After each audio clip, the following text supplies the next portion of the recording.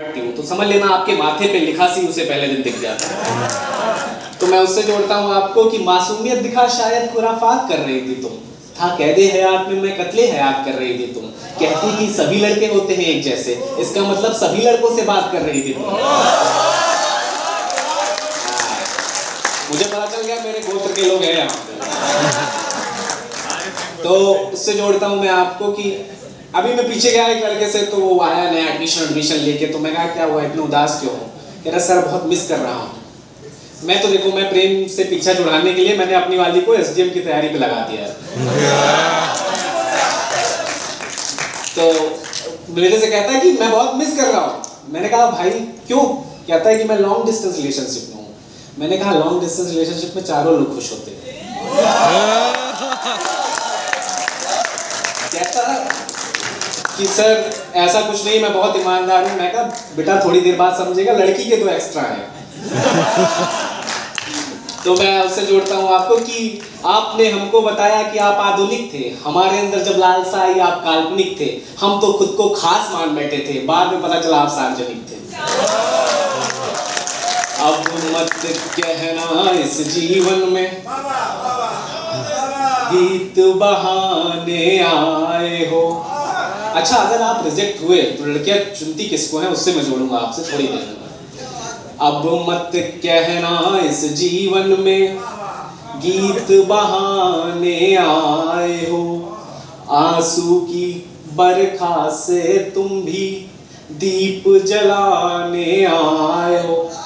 मेरा एक दोस्त था अजीत। मैंने उससे बोला कि, अरे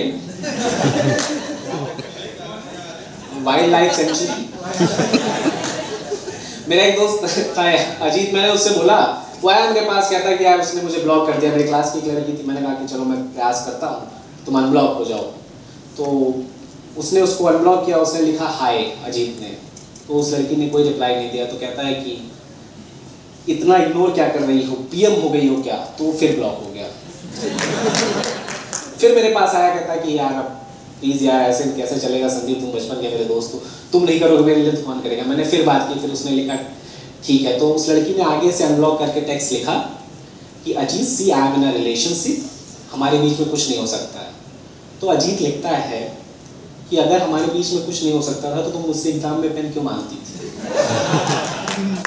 और दूसरी लाइन पे आपकी बात उठेगी कि अगर हमारे बीच में कुछ नहीं होता तो तुम एग्ज़ाम में मुझसे पेन क्यों मांगती थी? और जहाँ गोलकीपर रहेगा, वहाँ मैं गोल नहीं करूँगा क्या? तो फिर फिर वो ब्लॉक हो गया और उसके बाद जब अजीत गया। बोला कि अब तुम मेरा मरा मुँह देखोगे अगर मुझे अनब्लॉक नहीं करेगी। तो मैंने कहा, ठीक है, मैं कोशिश करता हूँ। मैंने उस लड़की को बोला, मैंने कहा कि अगर ऐसा है, तुम अजीत को भी ब्लॉक कर दो अनब्लॉक कर दो। अगर वो कुछ किया तो मुझे तुम ब्लॉक कर देना। तो मैंने कहा ठीक है, फिर मेरी बातचीत बंद हो गई। पिछले दिनों में मैसेज भेजना चाह रहा था उस लड़की को तो उसकी डीपी नहीं दिख रही थी। तो मैंने मैंने उससे बोला कि, मैंने अजीत के पास में गया, मैं अजीत को बोला, मैं अजीत अपना फ़ोन देना तुम मुझे। तो लास्ट मैसेज जो उसने टाइप किया था वो ये था कि, अब शुक्ला बोलेगा, तब तुम मुझसे बात करोगी। चलिए, बहुत अच्छा सुन रहे आप लोग कि। अब मत कहना इस जीवन में, गीत बहाने आए हो। आँसू की बरखा से तुम भी दीप जलाने आए हो। आँसू की बरखा से तुम भी दीप जलाने आए। आप लोगों मेरा एहसान मानना चाहिए, मैं बहुत ज़्यादा गा नहीं पाता, फिर भी गा नहीं रहा हूँ। आग लगे अब उस जीवन में, जिसमें तुम्हारा साथ नहीं। प्रीत मान कर तुमको बैठे, मीत बनाने आए हो।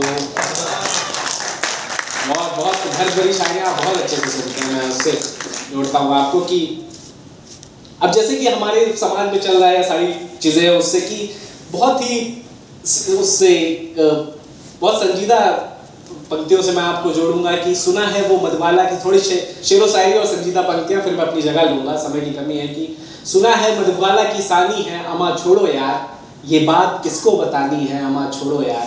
पापा कल बता रहे थे उसकी मम्मी के बारे में। उसका ये नखरा खानदानी है अमा छोड़ो यार। कि मुल्क में लगी आग नहीं है अनपढ़ों की। ये पढ़े लिखों की शैतानी है अमा छोड़ो यार। और दोस्त देते हैं दिलासा समय समय पर। ऐसी कई आनी जानी है अमा छोड़ो यार तो मैं कुछ चंद पंक्तियाँ, संवेदनशील पंक्तियाँ पढ़ के अपनी जगह लूँगा कि आज के रावण, आज के रावण क्या करते हैं? मैं उससे जोड़ता हूँ कि आज के रावण पराई स्त्री को हाथ लगाते हैं। मध्य रात्रि में आकारण उसे जलाते हैं। बापू के तीनों बंदर अब तो यूँ ही रोते हैं। जनता आई, सड़कों पर राजा महलों पर सोते हैं। धर्म, कर्म, वेद, शास्त्र को ये अंगूठा दिखलाते हैं। आज के रावण कहाँ रावण बन पाते हैं? आज के रावण कहाँ रावण बन पाते हैं? हन चुकता है जाना तुक्का कौआ मोती खाता है। मंदिर तो बन जाती है, पर राम राज ना आता है। बहुत बहुत धन्यवाद बहुत